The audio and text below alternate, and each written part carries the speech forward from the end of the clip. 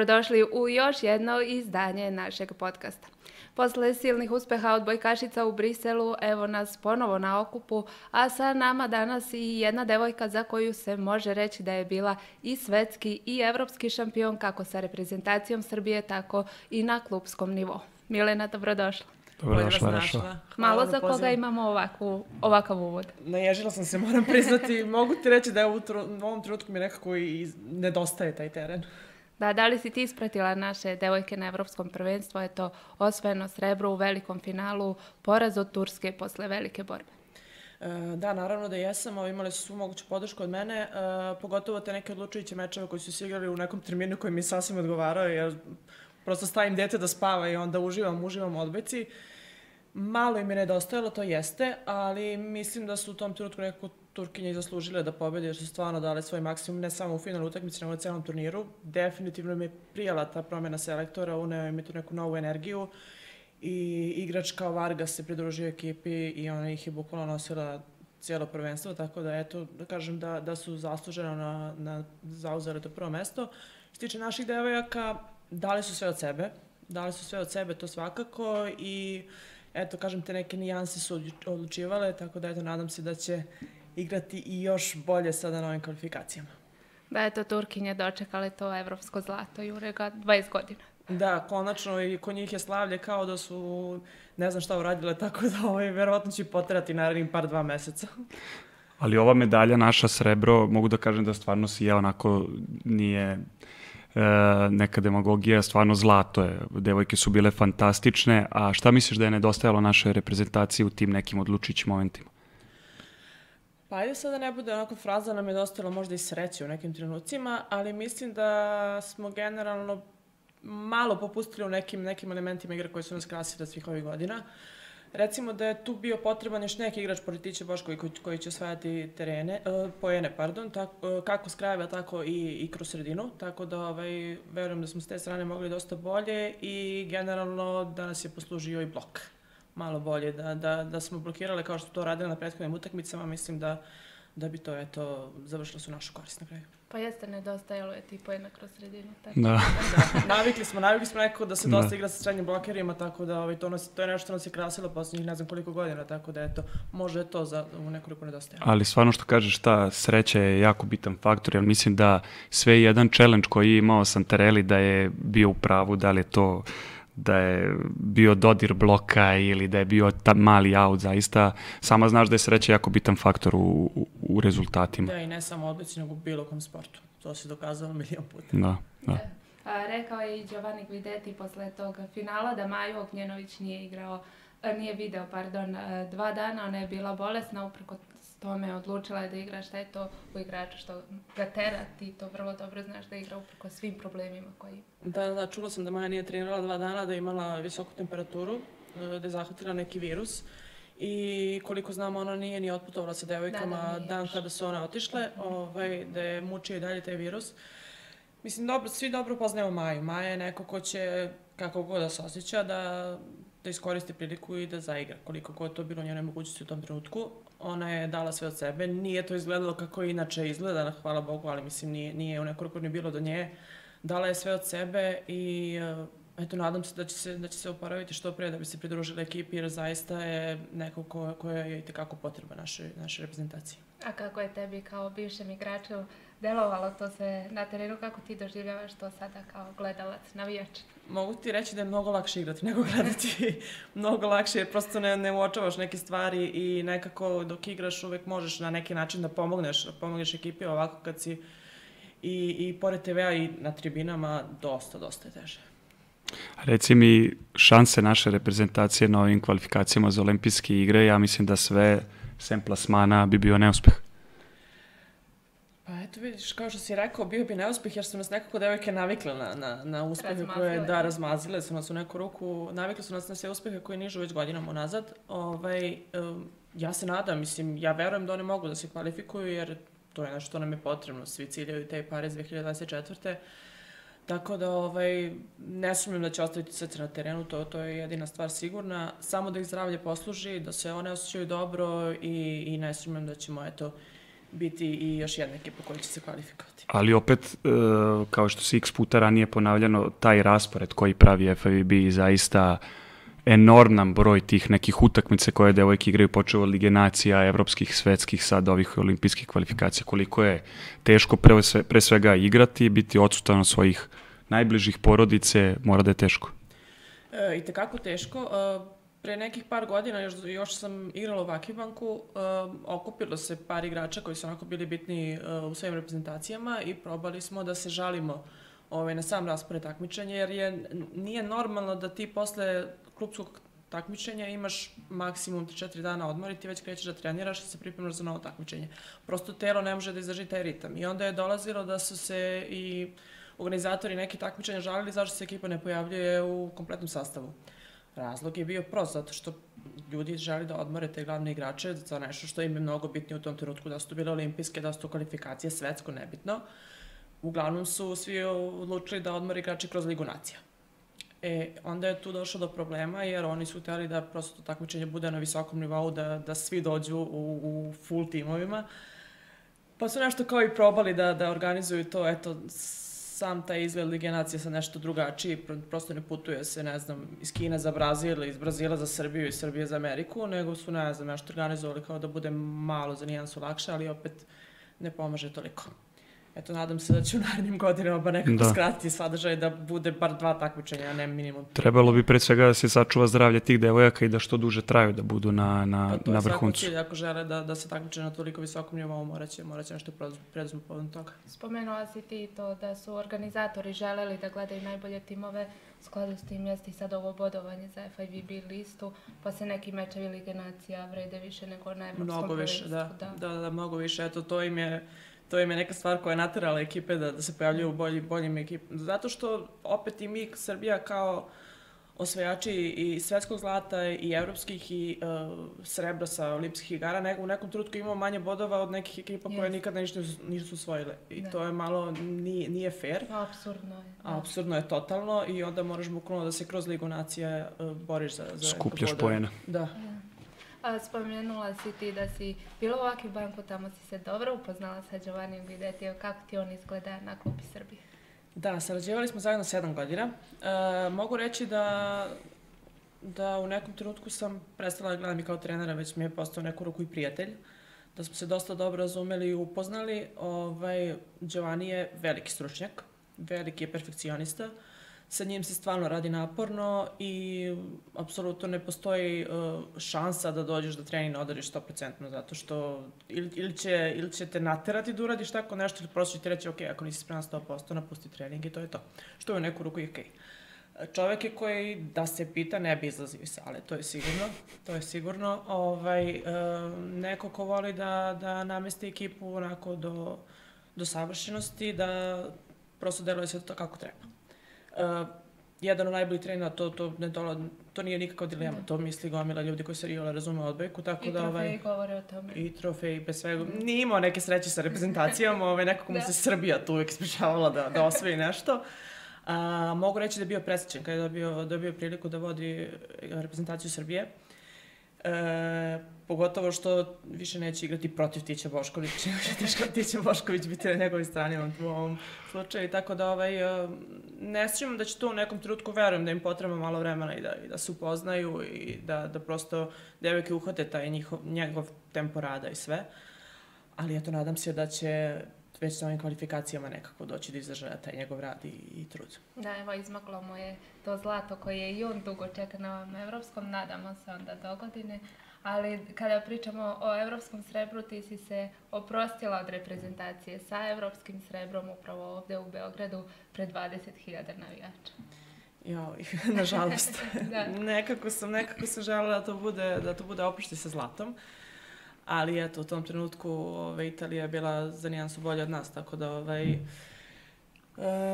odigrale smo kako smo odigrale. Ja sa moje strane mogu reći da sam dala svoj maksimum, pogotovo što sam negde u malom mozgu imala taj, tu informaciju da mi je to poslednja utakmica za reprezentaciju. A s druge strane sam i pokušala da, da se fokusiram na neke druge stvari, da ne razmišljam pretredno o tome, jer kad god razmišljaš o nečemu, totalno bude kontra, tako da ovaj, vjerojatno bih odigrala užas, najgoru utakmicu u svom životu, ali s druge strane mislim da je to bilo skroz okej. Okay. malo nam je nedostajalo, ali opet drago mi je da je taj oproštaj bio pred, baš pred našom publikom i pred tim brojem navijača. A šta je bilo to što te navelo da se oprostiš od, od reprezentacije? Pa malo su se prioriteti promenili. E, prosto sam ostavila potrebu da ostavim porodicu, da, da se posvetim eto, tim nekim možda i lepšim stvarima u životu. Umeđu vremenu sam se i ostvarila kao majka, što mi je svakako i najzlatnija medalja koju sam osvojila do sada, tako da ovaj, to mi je pre svega bio prioritet i drago mi je to da sam, da sam uspela da, da ostvarim i to. E, da sam mogla da igram, ne znam, pošto mi je telo već polako i dalo neke znake da, da, da je vreme da, da batalim, da, da prosto ne može više da izdrži taj ritam koji smo imali već godinama nazad, tako da ovaj, eto, mislim da je baš bio pravi trenutak za to. Da, i tamo na domaćem terenu. Da, sve se nekako klopilo. Samo još da je bilo zlato, bilo bi idealno, ali da. Ali dobro, zlata ti sa reprezentacijom ne fali. Tako, imaš Da. da. sa evropskog i to si kao kapiten tada podigla taj šampionski Da. pehar 2017. Da, ali mi nedostaje zlato sa olimpijskih, na primjer. Dobro, da. Pa dobro, ni tu nisi lo... Da, imaš Dobro, vremena. srebro. Da, A, srebro, da. Srebro i bronza. Srebro i bronza. Da, nadam se da će devojke ovaj, osvojiti to dugo čekavano zlato sledeće godine. Da, kada pogledaš sada tu svoju reprezentativnu karijeru, to je 12 godina, 16 medalja. Ovde Ne možeš i da vidiš Da, neke. to je 2017. je tako. Da, ovo su divne uspomene, mislim, Da. ovo je... Nevjerojatno je, mislim da je to nešto sve krenulo od 2015. godine kada smo se kvalifikovali za Rio. Tada smo nešto igrale nenormalno, ovaj, da smo pobedile sve moguće ove najbolje svetske ekipe u toj borbi za kvalifikacije. Da, Da to smo samo od svetski Kine. kup. Mhm. Svetski kup Da. se igrao kao kvalifikacija, da. Da. Izgubili smo samo od Kine. Sve ostalo, znači tu je bila i Amerika, moćna Amerika, moćna Rusija u tom Da, trenutku. da. Bukvalno smo sve, i onda smo se mučili u posljednjoj utakmici sa večito nezgodnom Argentinom, koju smo u principu uvek dobijali sa 3-0 bez ikakvih problema. Ne, mi smo odlučili da se namučimo u toj posljednjoj utakmici koja je bila, da kažem, i sigurica i igrali smo 3-2. Ta, ta, tad ne znam, kad, kad nas nije sve strefio šlogu zbog te utakmice, ne šta, je- šta, je desilo. Ali u svakom slučaju mislim da je 2015. krenuo tako taj neki niz da se, da se pravi i da prosto bude, da dolazi taj uspeh za, za uspehom. Jeste od te 2015.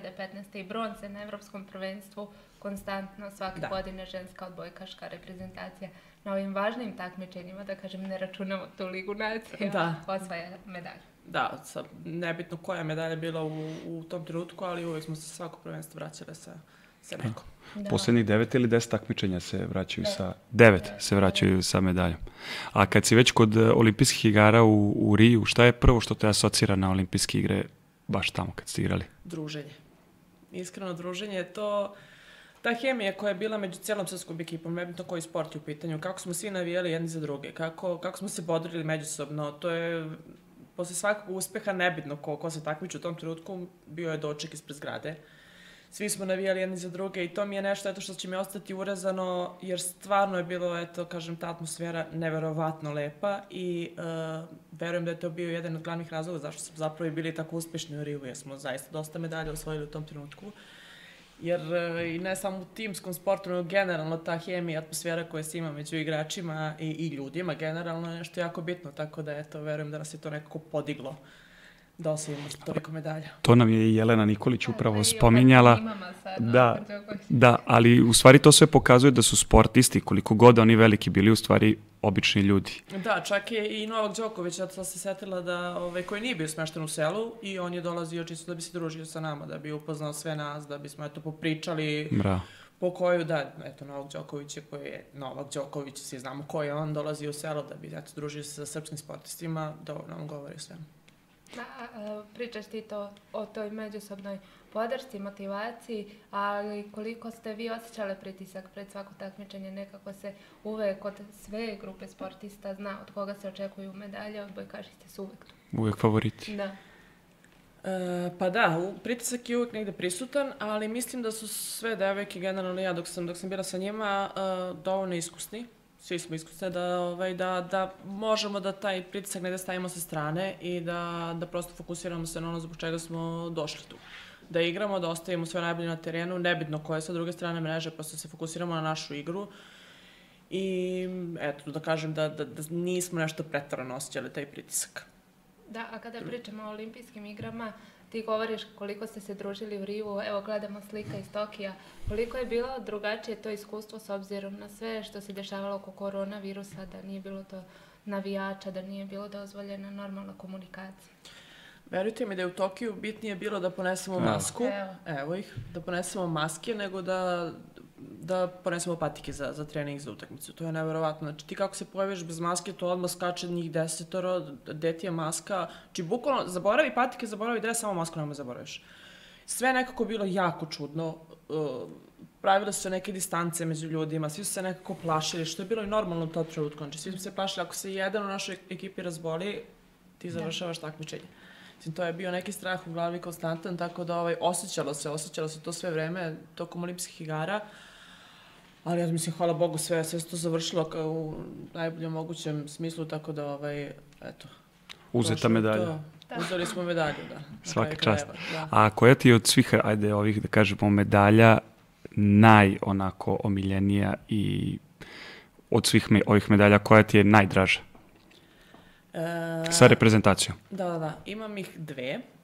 Prva je zlato 2011. jer je osvojeno baš ovde u Beogradu pred našom publikom i sećam se bukvalno da i igla nije imala gde da padne, koliko, koliko tu bilo ljudi, sedeli su na stepenicama, to je, to je bilo nevjerovatno.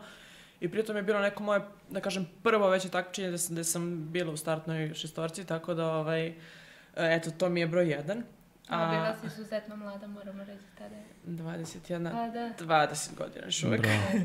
Ovaj, a, a druga mi je svakako osvajanje svetskog prvenstva. 2018. godine, jer je to ipak bilo prvo svetsko prvenstvo koje smo osvojile, tako da, ovaj, eto, to mi, to je, te dve medalje su mi onako na, na prvo mesto. Da, eto, svetska evropska šampionka, to svetsko prvenstvo zaista je posebno bilo i u tom dalekom Japanu. Evo Da, imaš da. i ovde Ali iz Japan nam je Japana sa nekako ovim bila, maskotama. da, Japan nam je uvek bila neka, kažemo, majlija. Uvek smo dobro igrali u Japanu i vratili se sa medaljama, tako da i generalno uh, ja jako volim ljude tamo u Japanu koji su neverovatno slatki i nasmejani konstantno i mnogo su fini i jako nas vole kao ekipu i stalno smo imali podršku ovaj, sa tribina, tako da eto, ovaj, može to i razlog više šta nas je podizalo u tom Japanu. Vi ste otišli na to takmičenje kao evropske šampionke i srebrene sa olimpijskih igara u Rio, ali jeste li očekivale to zlato i Terzaj negde uvek govorio da je to svetsko zlato najveći uspeh koji je ostvario sa reprezentacijom? Pa jeste, kako nije, mislim, tu, tu se,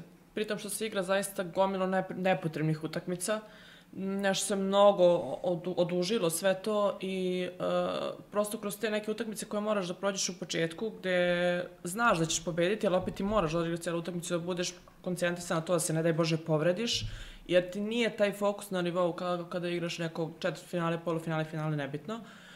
Ovaj, tako da je to sve mnogo dugo trajalo, ali eto, hvala Bogu, imali smo ovaj, pre svega i kondicionog trenera Bankovića koji nas je ovaj, držao, održavao nam je tu neku formu i, i podizao je sve do momenta kada nam je ta najbolja forma bila potrebna u finalu i samo finale je bilo pravo finale svetskog prvenstva, Tako mislim, jeste. da, svi smo igrali i Italija i mi jako smo želeli da, da osvojimo to zlato, tako da, ovaj, eto, baš smo priredili tu neku izvarednu odbojku svim, svim uh, ljubiteljima odbojke, tako da, ovaj, na kraju krajeva završilo se u našu korist i presrećna sam bila zbog toga. Zapravo u tom trenutku nismo i bili sve šta smo uradili, ali kako smo sletele u Beograd i sve, onda je prosto krenulo da nam dolazi u glavu. Da, i taj poslednji poen sila kad se upecala. Da nikome nije bilo jasno, da nikom nije bilo jasno što se dešava isto kao i 2011. kada se devojka saplela na servisu, gde sam ja u tom trenutku bila na terenu i ja nisam imala pojma da se to završilo, da je, da je kraj utakmice. Ja sam ako gledala da li je devojka okej okay. i onda sam videla Da našu slave. devojku koje slave, kao, aha, mi smo osvojili, mi smo evropski šampioni, da. Jel si i ti očekivala tu loptu da dobiješ poslednju 2011. kao što je Jelena Nikolić očekivala da onako kako bi završila Pa mislim da svi očekujemo u, nekom, u tom trenutku da dobijemo loptu, svi smo onako 100% spremni, kao Majo daj, daj mi loptu, podigni mi loptu da završim, završit ću je 100%, ali mislim to opet ne zavisi sve od nas. Verujem da su svi igrači koji su u tom trenutku našli na terenu očekivali da eto, oni će biti heroji, završit će, završit će tu utakmicu. Pa dobro, to je šampionski mentalitet. Da, tačno. loptu. Hvala Bogu, svi smo spremni i to, toga je Maja svesna. Da, e, spominjali smo i selektora Zorana Terzića, ti si sa njima tu u reprezentaciji pa 12 godina e, bila, zajedno osvojili 16 e, medalja. E, kakav je tvoj odnos bio s njim? Koliko ti je on pomogao? Evo reći ti jedno, mislim nije to nije anegdota, ali kada sam se ja pojavila u reprezentaciji, ovaj, Terzić je nešto čuo se sa mojim menadžerom i rekao mi, pa dobra je mala, ali ne zna da blokira. Meni je to menadžer posle ne znam koliko vremena rekao, naravno da nije u tom trenutku hteo da mi kaže, vjerojatno bi plekala celo veče zato, zašto mi je to rekao. Ove, međutim, e, jedna stvar je sigurna, ja sam u Terzića naučila mnogo. I on je bio jedan od trenera koji me zapravo ovaj, i odveo u taj svet da, da ja igram i preko i da, da igram u reprezentaciji toliko godina. E, čovek je koji zna mnogo odbojci. Njegov sistem rada i Giovannijev sistem rada, na primjer, je totalno drugačiji. Ali su obojica majstori, svako na svoj način. Tako da ovaj, Terza ima neki taj svoj, mislim da je on mrgut, standardni mrgut, ali zaista, zaista možete nauči mnogo. Tako da ovaj, zahvalna sam mu na, na svakom treningu, na svemu što me je naučio kroz celu tu karijeru i naravno želim želim mu puno sreće sada ovaj, u budućnosti. Da, sad e, kad sam spominjala ovih 12 godina, palo mi je na pamet da si ti pauzirala jedno leto 2019. Koliko je važno zapravo i da se uzme nekad pauza kada je potrebna, pogotovo sa ovako napornim rasporedom kao što je odbojkaš? Jeste i te kako je bitno, e, jer baš kao što ste i spomenuli da je taj ritam neverovatno težak. I mislim da smo čak i jedina reprezentacija, pričamo o timskom sportu, koji su konstantno na terenu. Znači, mi apsolutno ne odmaramo. Ti, bukvalno, odbojkaš reprezentacija, ti iskače iz friždera kad, kad upališ TV. Mislim, to, konstantno smo na TV-u, igramo nešto. Tako da ja sam prosto osetila te ovaj, sezone 2018-19 da, da mi je potreban odbor. Srećan, Terzić je tada bio u Fenerbahčevu već i sjeli smo na ručak. Uredno sam ga pitala, rekao, Terza, meni je potreban odmor, potrebno mi je slobodno leto čisto da, da se osvežim, da mi malo telo živne. ja stvarno nisam mogla više, da, da se, bukvalno da se oporavim.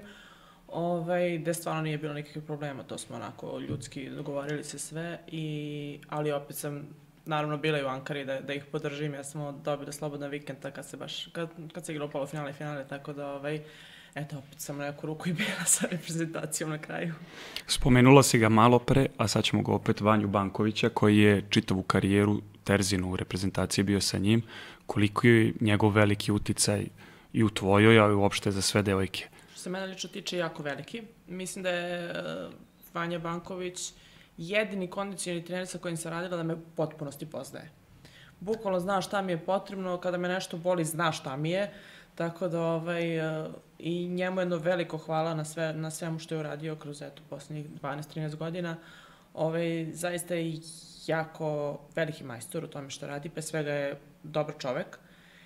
I što me najviše ovaj, oduševljava oko njega što on neprestano uči. Znači, on stalno ide na neke seminare, nalazi vremena i za to i prosto usavršava to svoje znanje i svake godine donese nešto novo i u reprezentaciju i, i, i to. Tako da, eto, ja, Vanja, hvala ti još jednom na svemu do sada. A šta je najbitniji deo, recimo, kod njega? Je li to onaj deo pre treninga ili sama teretana, priprema u teretani ili neki period oporavka posle treninga? Na čemu on Pa mislim da je generalno sve, sve zajedno, ali pre svega ja sam jako volila njegovu teretanu. Mm. Jer to je baš nešto što, što mi je prijalo, uh, nebitno da li se pred utakmicu radi neka, neka eksplozivnost, nešto, ili radimo tešku teretanu par dana pred utakmicu, jer znam, uh, u glavi sam svesna da će me sutradan sve živo boleti, da će biti teška, ali znam da će na dan utakmice biti jako lagana, sveža. sveža i da ću moći da skočim kako želim da skočim, da će mi ruka biti brza. Uh, i slično. Tako da ovaj, u potpunosti sam, sam uverovala, a verujem da, da, da se sve devojke slažu sa mnom. Da, ovako kada pogledamo žensku reprezentaciju, a, delo je zaista da se devojke izuzetno slažu i da je to jedna skladna grupa kako je vama bilo unutra. E, baš kao što sam i malo pomenula, jako je bitna ta atmosfera koja se ima u timu i uh, uvek se primeti kada nešto štrči prosto da li je to jedan igrač, da li je to neko iz stručnog štaba koji prosto unosi tu negativnu atmosferu i, i dovoljan je taj jedan deo da sve nestane. Kod nas u ekipi već godinama vlada ta stvarno super atmosfera, super hemija, devojke se jako dobro poznaju, čak i kada dođu neke mlađe devojke, kada se priključe ekipi, ove starije ih prihvate na pravi način. I prosto se osete kao da su tu već 10 godina, kao da nisu nove. I ovaj, to je nešto što krasi ovu, ovu reprezentaciju već godinama i vidim da, da, je, da je to i dalje tu. Ja sam ih posetila i, na treningu, a i generalno kada ih gledam preko TV-a vidim da, da, da to i dalje krasi ovaj, tu istu ekipu, tako da eto, nadam se da ću održati to, jer to je stvarno nešto što ih pokreće. Ali ako možeš da izdvojiš jednu za tih 12 godina, ko ti je omiljena saigračica iz reprezentacije? Da si recimo i ovako i posle karijere, da si Pa, ostala e, u sad ću kontaktu? vam reći, najbliže sam i dan danas uh, sa Tijanom Malešević.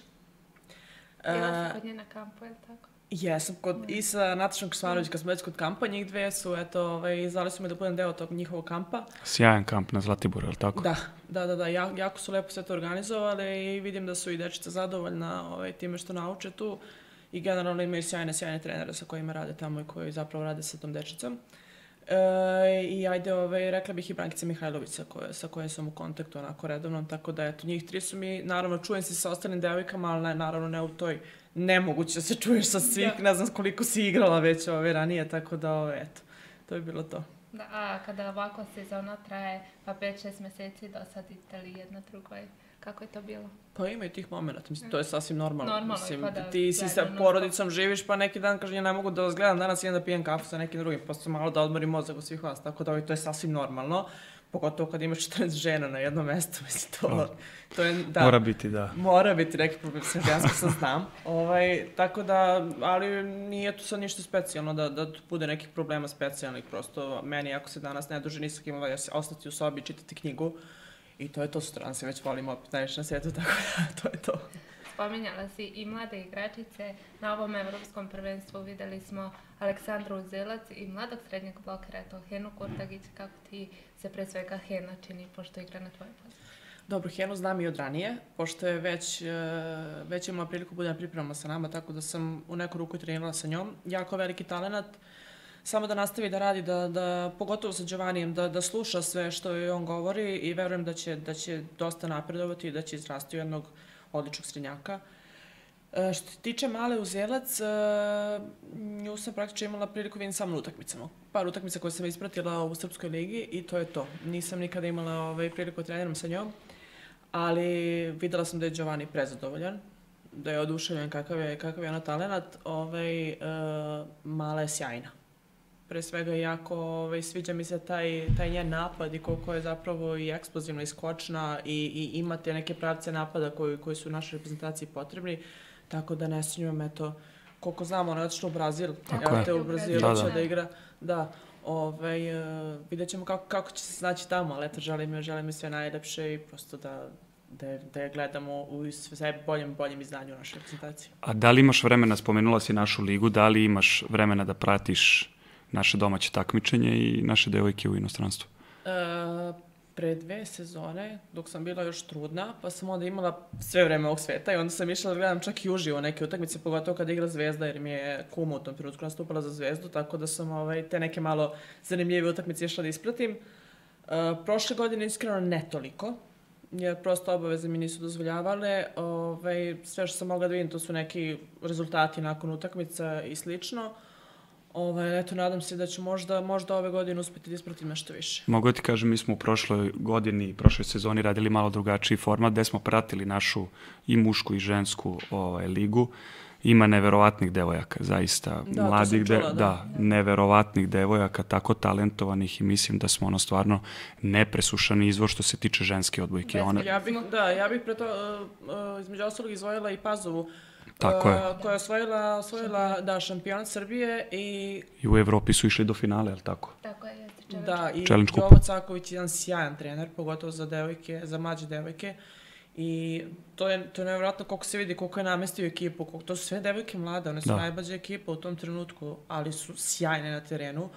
I ovaj, eto, pre svega da kažem da, ovaj, da pohvalim Jovo Caković, imala sam priliku i da radim i sa njim, tako da znam kako to sve funkcioniše kod njega ovaj, na svemu što, što je uradio i verujem da će izbaciti još nekih Hoće, mladih siguran igrača. sam, da. siguran sam. Evo, spominjemo jedinstvo, igraće Ligu šampiona ove sezone protiv Vakif Banka, tvog bivšeg kluba, ponovo će dolaziti Giovanni u Srbiju. Hajde malo da pričamo o toj tvojoj klubskoj karijeri u Vakifu. Si provjela najviše vremena sa tim klubom, si bila i evropski i svetski šampion i to ne jednom nego dva.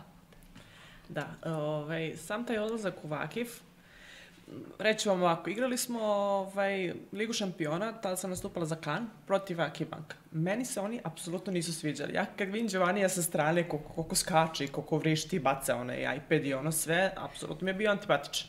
Kao i njegova ekipa, nešto su mi činila nad mene, nos do plafona, ne znam ti ja šta. I mi smo te utakmice njih pobedili. Kan je pobedio sa 3-2 i Zlati se igrao i tu smo pobedili, iako su one vodile. Nakon toga ovaj, meni je usledio poziv iz Vakifa od Giovannija, prvi put, gde, gde sam ja rekla neću, hoću, imam još jednu godinu u Kanu, hoću da ostanem ovde, meni je ovde lepo.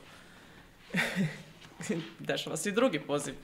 I meni moj Ne menadžer kaže, meni menadžer kaže, a bukvalno je to bilo dva dana pred potpis da produžim, znači na ovo jednu godinu što imam još da dodam dve sa Kanom. I meni je menadžer rekao, slušaj Rašo, oni te treći put neće zvati, a ovo ti je prilika života, verujem. Ti je rekao, ajde, ja sam ljudi moji toliko plakala, što ja moram da idem iz Kanade, prosto imaš, imaš Pa svoju nije ti srpsku bilo ekipu. baš nešto da- tamo u Kanu, tako nije Pa, neko vreme. Ja sam se osjećala lepo. Šalim se, naravno, ma generalno, da. da. Mislim, lep je život, Da, da, da. to na stranu. Imala sam sjajnu ekipu, imala sam devojke srpkinje, upoznala sam gomilu ljudi i što stranaca, šta francuze i mnogo mi je bilo lepo generalno tamo. Preplakala sam to, to veče ovaj, i na kraju sam potpisala i zaista se nisam pokajala ni jednog trenutka. Vakim Bank je po meni najbolja, najbolja ekipa na svetu, što se tiče organizacije i svega. Da. Spominješ menadžera, uh, jesi sa jednim menadžerom radila tokom čitave karijere ili je bilo da, više? u pitanju je Bojan Milić i pozdravljam ga ovom, ovom prilikom. Ovaj, uh, koga više nisam igrala kao menadžer, bukvalno bio kao stariji brat. Ovaj, slučajno sam ga upoznala još dok sam bila u Šumadiji iz Aranđelovca. On je isto pole, je tako? Da, on je isto pole, baš tako. Upoznala nas je Milorad Kijac u tom trenutku koji je bio trener ove Šumadije. I sasvim slučajno smo krenuli, eto, tako da radimo i ostao mi je do samog kraja. Bravo. Menadžer, da. Pa dobro, ovaj, da, de, teo sam samo da te pitam, sad si spomenula Šumadiju, u stvari u Šumadiji je sve počelo, je li Da. tako? Da, da, da, jeste. Sad Ti si 10 došla godina. kao, de, koliko si imala godina kad si došla u, Deset u Aranđelovac? Uh, u Aranđelovac sam došla d- 2000-te. Pa da, da, krajem deve- 99. godine su mi otišli za Kosova. Uh, par meseci smo bili dobro, recimo 2000. godine, negde sredinom, smo došli u Aranđelovac i ja sam već te godine, uh, kada je krenula školska godina, krenula da treniram. Sasvim slučajno, to sam mislim ponovila priču milion puta, ali sasvim slučajno... Ovaj, To je čuveni čikavelja, li tako? Čikavelja čuveni ovaj, e, nas je posetio na času fizičkog i izdvojio tu nas par visokih i rekao kao ljudi, trening je tad i tad, dođite. Ja sam otišla i to je bukvalno bila ljubav na prvi pogled, jer sam stvarno volila sport i kao dete, nebitno da li to futbal, košarka, samo da se neka lopta kotrlja i to je to. Ovaj, I eto, do dana današnjeg, to je do pre dve godine, ovaj, nisam i prestala trener. Bravo. Da, u Srbiji igrala si još, eto, samo za Dinamo. Da, kad pogledaš, ja nešto nisam, Da, da, da, ovaj, imala sam četiri dugo, kluba, da. bukvalno, da. Tako da, eto, Šumadija, do trenutka kad sam prešla u Dinamo, onda je bila Francuska četiri godine Ne, i Vakif sedam. To je to što se tiče moje karijere. A reci mi, jel u Šumadiji kad prelaziš u Pančevo, vi u stvari gubite od Pančeva taj baraž za, za dopunu Superligi, je li tako nešto bilo? E, jeste, isto je bila neka slična Da, da. situacija kao Kan Vakif Bank, Da. da. sam ovaj, nakon te utakmice dobila Da. poziv za Dinamo, da. Ovaj, mislim da je, da, Dinamo je nešto, za nešto malo pobedio u tom trenutku, da mi smo trebali da uđemo u Superligu, Tako tako, je, je, nešto tako bilo, je, da, da. se ja sećam. Ali nismo uspeli, Dinamo je ostao i onda sam nakon toga Prešla u Dinamo. Pančevo, da. Dobro, a da li možeš da kažeš u to vreme ti se baviš odbojkom, jer si imala neke idole, postere u sobi, da li si, da, ko je bio razlog zbog koga si počela da treniraš odbojku? E, Osim. Osim Zbog- čikavelje. Zbog čikavelje. zbog čikavelje. Uh, generalno, a, ni, postere koje sam imala u sobi u tom trenutku su bile još Shakira, Jennifer Lopez, Britney okej. Spears, koja je bio aktualna U u tom tom si bila, trenutku, da. dobro. Ovaj, ali uh, što tiče sportista, uh, neko ko mi je bio, kažem, idol od samog starta kad sam krenula da gledam reprezentaciju, a to je bilo trenutka kad sam krenula da je treniram i onda prosto zanimala sam se sa odbojkom, ajde da vidimo ko, Pa to tamo ta 2000 Da. Da. I ovaj, od uvek mi je bila idol pre svega ovaj, zbog njenog stava i kako je ona bila onako na terenu. To je Vesna Čitaković-Đorišić. Mogu sam da pretpostavim. Bez da kažem, Da. jel da? I, ovaj, I tek taj moment kada sam ja nju upoznala i zapravo imala priliku da treniram sa njom, to je bilo 2011. ona nešto Da, trenirala sa tako je. nama, ovaj, je bio neverovatan. I onda sam videla da sam zapravo iz pravog razloga nju i gledala kao idola, tako da, ovaj, eto, na, drago mi je da sam završila na njenoj poziciji i eto da, da sam posle nje došla u reprezentaciju, da je nasledim. tamo kao naslednica, baš ti nije. Nismo baš na slični, nismo baš isti srednjaci, ovaj, ali dobro, trudila sam E, se. a imam jedno pitanje, u- kroz i reprezentaciju i klubove uvek se provlačio broj 16. Da. Je li ima neka simbolika? E, zapravo i nema. Ne, ja sam bila nešto menjala, kao, kao mala sam menjala brojeve i u jednom trenutku sam došla do 16 i eto, svidao mi se i prosto je u svakom trenutku bio slobodan broj 16 i eto, ostalo mi je, naravno, posle reprezentacije da, da pitam i u Vakifu za broj 16. Nešto nije bio očigledno voljen među igračima, tako da mi je neko kada imala sam sreće da uvek, da uvek bude slobodan i tako je, tako je ostao 16. Pa lepo. Spominjemo i dalje tvoju klubsku karijeru, malo da se vratimo na taj Vakif koji zaista jeste i deluje kao neka mašinerija i kao najorganizovaniji klub na svetu. Kako to funkcioniše u Istanbulu? E, mislim da to treba da se obiđe da bi se zapravo znalo. Jer džabe sad što ja pričam koliko tu ima dobri stvari vezano za Vakif Bank, e, e, generalno same organizacije, kako im izgleda sala koja je... Ja prve godine kad sam otišao u Vakif Bank, mi smo trenirali u školskoj sali. Bukvalno u školskoj sali gde je bio teren ono 909 i pored su bile sprave za teretanu. I ti dok radiš teretanu, tebe neko gađa loptama koji radi trening s loptom.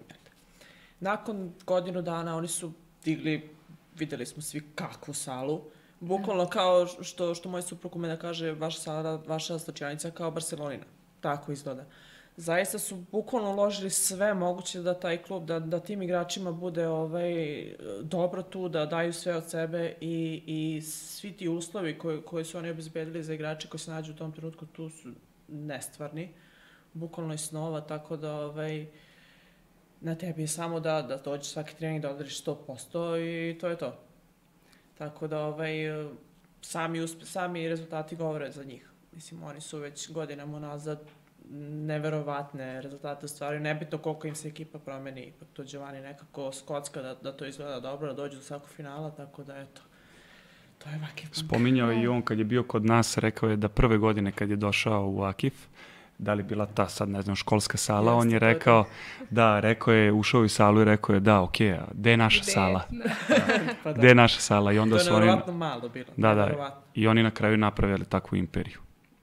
Neverovatno kako, kako im izgleda, kako im izgleda ta dvorana sada. Ali dobro, onda ne treba ni da čude ti uspesi koje je sada turska reprezentacija u stvari Da, i ali pravi. Ja sam Da. da pitam, otkud u Turskoj tolika ljubav i posvećenost odbojci? Otkud im to, mislim? To se odjednom stvorilo. To se odjednom stvorilo, pogotovo za Vakibank, ja mislim da su ljudi dolazili da navijači Vakiba su ljudi koji isključivo vole odbojku. I to je neka starija ekipa, neka dečica i slično. Sa druge strane imaš Fenerbahče, Galatasaray, koji su Sportska društva i... sportska društva i tu dolaze futbalski navijači da navijaju. Tu nastane haos. U nekom trenutku zaborave da je to odbojka kulturan sport, ovaj, da nema potrebe za takvim navijanjem, ali jako je lepo igrati u celoj toj atmosferi, pogotovo ako su oni Kako ne. domaćini. To, to je neverovatno igrati, bukvalno imaš onako osjećaj kao da, da si ne znam gde.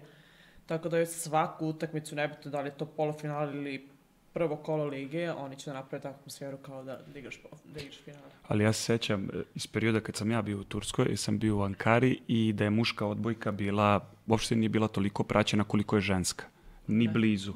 I onda je, pošto znaš i sama u, u tim Burhan Felek i uh, ona druga sala, uh, onda su termini nekako zgusnuti i muškarci i žene igraju na ženskim utakmicama je puna sala i onda samo isprazni, znaš da nastupaju muškarci.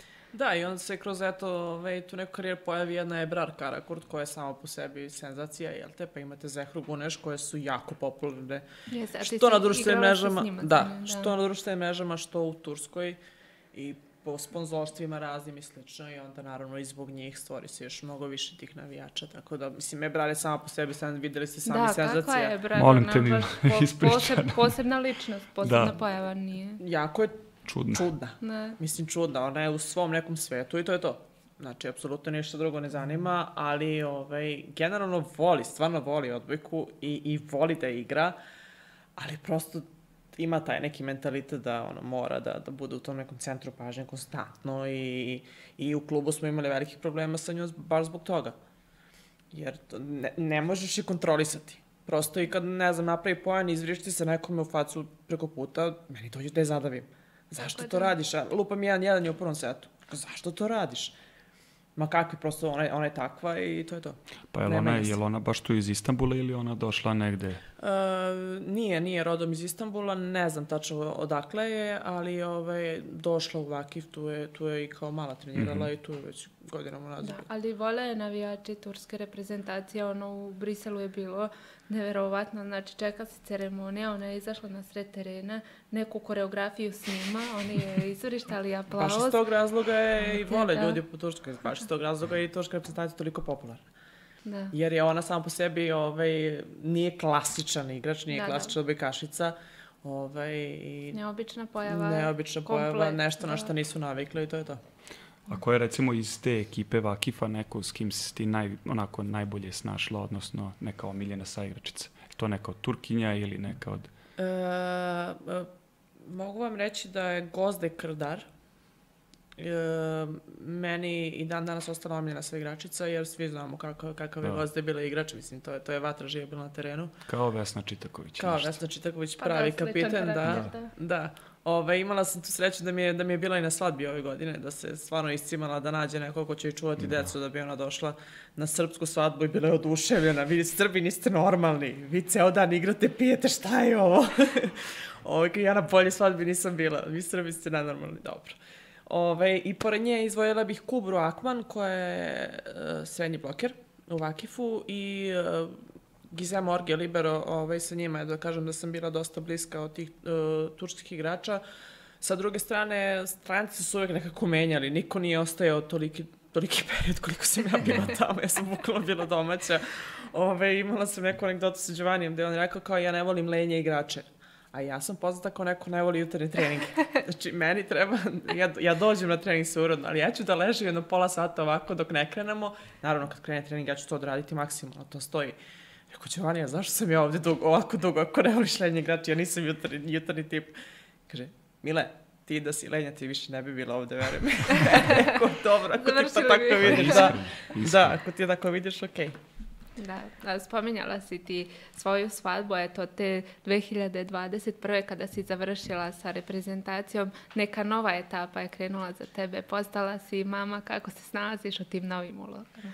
Sve je totalno drugačije, sve je ovaj, nešto novo i ovaj, mogu da kažem da uživam u svemu tome.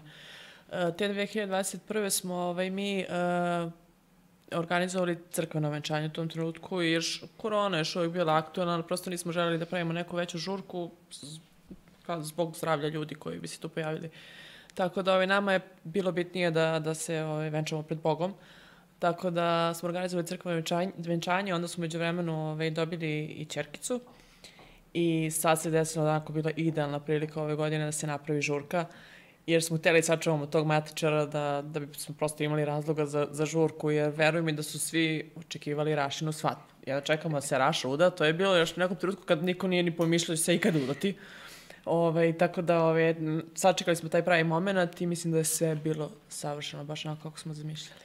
Znači, praviš dobre žurke ako se čeka tvoja Da. Pa ja sam uvijek bila organizator za sve to, veruj mi. Da li klub, da li reprezentacija, uvijek je Rašo, da ajde organizuj proslavu posle, ne znam, ako smo osvojili zlato. Rašo, gde ćemo da idemo? Organizuj nešto, ajde ovaj, rekao, tako da ovaj, ja sam uvijek bila glavna za to. A šta Milena Rašić radi danas? Čime se bavi posle odbojke? Milan Raš čuva decu i kuva ručak. ne, šalim se, ovaj, uh, mislim, ne šalim se. Domaćica sam trenutno, jer... Dobro, da. Da. A je li imaš neku ambiciju možda da ostaješ u odbojci, trenerski, menadžerski? Da, kako ti je bilo na kampu, kako si Da. snašla tu sa Mislim da ja ne bih imala živaca da budem trener, jer sam poprilično stroga, što se toga tiče, u- umem da izvrištim i da prosto ne volim kada neko dođe na trening, a ne daje 100% sebe. Nego dođeš na trening čisto bi ti proteklo vreme i gledaš koliko je sati da posle možda ideš u grad. Mene to jako nervira, na primjer, i mislim da iz tog razloga ne bih mogla da budem trener. Prosto ne bih trpila te neke stvari. Uh, sa druge strane, volela bih da ostanem u sportu, ali šta će to biti, vidjet ćemo o tom potom. Nekako sam uvek uh, imala taj osjećaj da sve dođe kada treba, da se ne, uskoči nešto, iskoči šta god, ovaj, kada je vreme za to, tako da eto, nadam se da će za taj Će nastavak, samo pokazati. da će samo pokazati kada bude bilo vreme za to. Da, evo, posložila ti se i sa decom, jedno imaš, drugo na putu. Da, ovaj, sve, baš onako kako sam zamišljala, Sanja planirala, tako da, ovaj, generalno sam poznata kao, kao neko ko mora da ima sve isplanirano. Svaki dan mi je veče pre isplaniram svaki sledeći dan kako će se šta raditi u minut. Ne volim da kasnim, tako da ovaj, sve mi je isplanirano i eto, drago mi je da, da mi se sve to nakon odbojke izrašavalo baš onako kako sam zamišljala. Ali to je upravo zasluga odbojke, to što si tačna, što si... To je nešto ta što neka naučiš kroz disciplina. sport. Da, Tako to je nešto naučiš kroz sport i eto je jedna od dobrih stvari ko, koju, ovaj, koju naučiš na stranu sata putovanja i upoznavanja raznoraznih ljudi, kultura i svega. I to je nešto eto, na čemu sam zahvalna odbici. A koja je tvoja osobina na koju si pono- posebno ponosna? Na koju sam posebno Da. ponosna. Pa, pa ne znam, mislim da to, da, da, da, to bukvalno ispane kao da hvališ sebe, ali generalno, ne, zato što nikad ne kastim.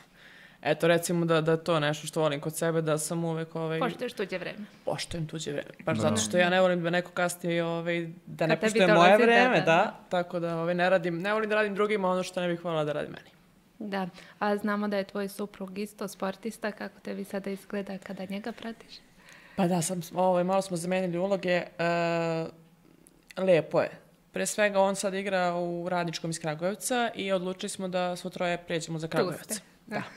Jer e, ne bih žela da njega odvejemo ćerkice. Znam da, da, da mu je mnogo lakše ovako kad smo i nazve tamo, tako da ovaj, pritom mi nije daleko na sat i po vremena od Beograda, da se ne lažemo, svaki vikend smo u Beogradu, tako da e, nije neki veliki problem. E, lep je osjećaj, e, pogotovo verujem da je lep osjećaj za njega, jer znaš da te, da te čeka neko kod kuće, jer sam Ima ja to obožavala, da. da. Ja sam to obožavala dok sam se bavila sportom, kada mi neko dođe u postu tu na nedelju dve, ja znam da me neko čeka kod kuće. Mnogo je zeznuto kad dođeš u četiri zida, Mm. mislim da to, to svi znamo, nebitno da si u sportu ili... Da. Kada nema nikoga. Da, a ti si mlada otišla od kuće, Jesam, da, da, da. da, sa 19 godina, pa da, da. zato ti to toliko Kažem, znači. srećem pa sam imala srpske igrače tamo. Anja Spasović koja mi je bila kao mama u tom trenutku. Ove, tako da ove, imala sam tu sreću da sam okružena na ljudima koje već znam. Da, neko tvoj je tu. Da. Da. Dobro, Dobro. hoćemo mi da... Da, za kraj imamo rubriku nekakav blic pitanja, kratka pitanja, ako nisu... Ali vrlo lagano. Tako je. Prvo je šta smatraš svojim najvećim uspehom? E, što se ostvarila kao majka. To je baš lepo. Pa da. Izvinite, nije vezano za sport. ne, ne, ali- najlepše. ne mora, ne mora, to jeste realno. Najlepše. Ostvarila sam san, to mi je. Da. Bravo, svaka čast. A najteži moment u karijeri? Najteži moment u karijeri je pa recimo uh, izgubljeno zlato u Riju protiv Kine, ta izgubljena utakmica. Znači, to je najteži poraz. Pa jeste, Da. u neku ruku najteži je poraz. Ja znam da niko nije spavao na sveče pred finale, svi smo ovaj, bili jako uzbuđeni, to se prvi put desilo. Da smo imali jako veliku tremu pred samo finale, tako da, ovaj, eto, recimo da mi je to bio neki moment koji, koji mi je baš teško pao. Pa dobro, finale olimpijskih igara, Nije stvarno. mala stvar, Da, da, da. Dobro nosi sa sobom i veliki pritisak sigurno. To i... da, znači, bukvalno niko nije mogao spava veče pre. Da. Dobro, najteža odluka koju si donela u karijeri? Najteža odluka. Mhm. Pa eto, taj prelazak iz Kana u Vakif. A ispostavila Recimo, si najbolje. Ispostavilo se na kraju najbolje. da, to su dobre odluke. da. Da li ja mogu jedno pitanje koje sam već ovdje imao spremljeno da zamenim? Može, naravno, da, da. Tvoj osjećaj kad si debitovala za reprezentaciju? Kako si se osjećala? Pa, teško se to može rečima opisati. To je, to je mislim, sam, uh, sama prilika da nastupaš za svoju zemlju, za svoj grb, ove, je nešto nevjerovatno i verujem da je, da je svakom sportisti to san. Tako da je to, ovaj, drago mi je i čast mi je da sam bila jedna od, od njih, tako da ovaj, nešto što ću svakako pamtiti ceo život. Nešto što će ostati tu negdje urezano i na čemu sam zahvalna. Znači Da, više da. ta reprezentativna karijera nego ova klubska, ako možeš Normalno da, jeste, Da. normalno da jeste. Mislim, to se ne dovodi u pitanje, ne može apsolutno se poredi ni sa čim kao to igranje za reprezentaciju. To od kada dobiješ poziv, to je nešto, nešto nevjerovatno. Da, da se nadožem na ovo pitanje, da li je Terza ikada tokom tvoje klubske karijere pohvalio taj tvoj blok? da li. Pa možda je tri puta za 12 godina rekao bravo.